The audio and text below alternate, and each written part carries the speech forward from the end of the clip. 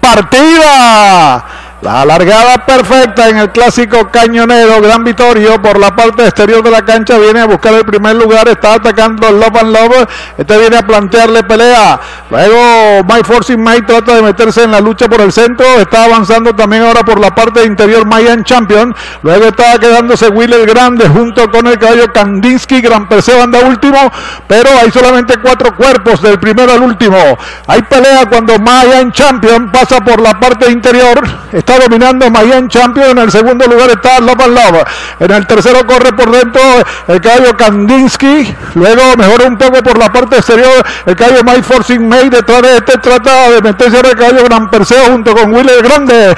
Ian Champion está dominando la carrera en 24, los primeros 400 metros. Ian Champion en la punta ataca Kandinsky por el segundo. Love, Love en tercero. El caballo My Forcing May corre en el cuarto.